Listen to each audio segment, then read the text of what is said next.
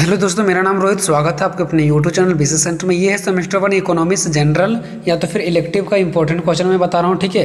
तो आप सभी को यहाँ पे देखना है इंपॉर्टेंट क्वेश्चन तो सबसे पहले यहाँ पे देखें कि इसमें से टोटल कितने क्वेश्चन हैं। तो यहाँ पे आप सभी को क्वेश्चन दिख रहा है टोटल जो आपको क्वेश्चन की संख्या दिख रहा है, वो टोटल कितना है? दस क्वेश्चन है, ठीक है?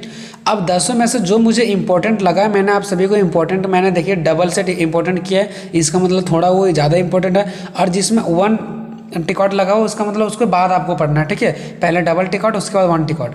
हालाँकि मैं पूरा कॉन्फिडेंस के साथ नहीं बता सकता हूँ, क्योंकि इकोनॉमिक्स का मैं वीडियो नहीं बनाता हूँ। फिर भी बहुत सारे लोगों ने कॉमेंट किया कि, सर, इसका इंपॉर्टेंट क्वेश्चन बताइए। तो जहाँ तक हमको लगा, ठीक है, वो मैं आप सभी को हेल्प कर रहा हूँ, ठीक है? और इस वीडियो में मैं आपको ये गारंटी नहीं दे सकता हूँ कि यही क्वेश्चन आएगा तो आएगा। जैसे कि मैं पिछले बहुत सारे वीडियो में ऐसा गारंटी देता था, लेकिन हम इसमें नहीं दे सकते हैं, क्योंकि इसमें थोड़ा बहुत मैं उतना ये नहीं हूँ कॉन्फिडेंस ठीक है? तो फिर भी मैं प्रयास किया हूँ इधर उधर से प्रीवियस पेपर वगैरह देखने के बाद कि जो पहला नंबर क्वेश्चन है ना, वो इंपॉर्टेंट है, ठीक है? पहला क्वेश्चन आपको अच्छे से पढ़ के जाना है। इसमें मैं कॉन्फिडेंस हूँ कि ये हमें नाइन्टी परसेंट चांसेस है कि आने का है, ठीक है?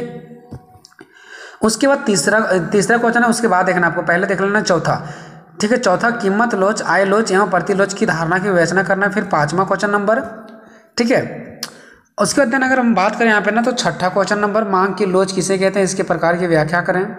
फिर सातवां नंबर आपको दिख रहा होगा, और फिर नाइन नंबर दिख रहा होगा। ये क्वेश्चन हमको इंपॉर्टेंट लगा, इसलिए मैं आप सभी को बता दिया। लेकिन फिर भी आपको क्या करना है? एक यहाँ पे तीसरा क्वेश्चन आपको पढ़ के जाना, पैमाने के प्रति फल नियम की व्याख्या कर, व्याख्या करें, ठीक है? तो ये सब कुछ इंपॉर्टेंट क्वेश्चन था, जो मैंने आपको, मेरे को जो इंपॉर्टेंट लगा, वो मैं आप सभी को बताया हूँ, ठीक है?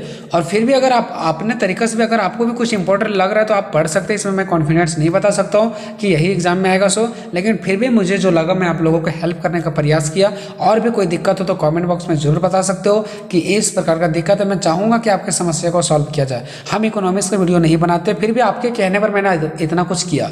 ठीक है? तो ये वीडियो आपको कैसा लगा कमेंट बॉक्स में ज़रूर बताना। मिलते हैं अगली वीडियो में। तब तक जय हिंद, जय भारत।